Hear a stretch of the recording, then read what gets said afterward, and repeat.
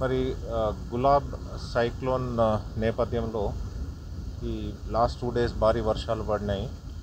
మరి ఈ భారీ వర్షాల వల్ల మనకి హిమాయత్ సాగర్లో ఈ ఫ్లడ్ వాటర్ బాగా రావడం జరిగింది.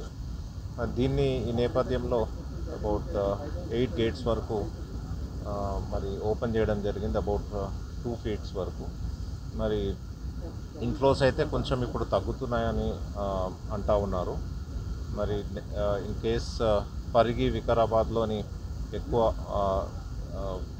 రెయిన్ఫాల్ అక్కడ కానీ అయితే మనకి ఈ వెంకటాపూర్ వాగులో కొంచెము హెవీ ఇన్ఫ్లోస్ వస్తే అప్పుడు వాటర్ పెరిగే అవకాశం ఉన్నది. కానీ ఇప్పుడు ఇప్పుడైతే ఏమీ ప్రాబ్లం లేదు. వచ్చిన వాటర్ అంతా స్మూత్గా మనకి అవుట్ఫ్లో ఇస్తూ ఉన్నారు. మరి నెక్స్ట్ ఈ ట్వంటీ ఫోర్ అవర్స్ ఇంకా వేచి చూడాల్సి ఉన్నది.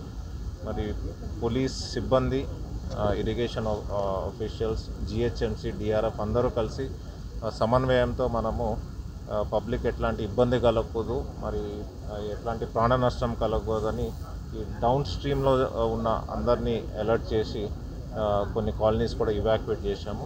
ఏమి ఇబ్బంది లేదు ఇప్పుడు. రానున్న ట్వంటీ ఫోర్ అవర్స్లో కూడా ఎట్లాంటి ఇష్యూ వచ్చినా కానీ ట్యాకిల్ చేయడానికి మా ఆఫీసర్స్ ఉన్నారు ఓకే